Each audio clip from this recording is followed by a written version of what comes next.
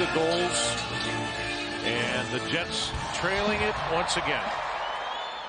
Could not score on the power play. Lowry from the ice backs it up.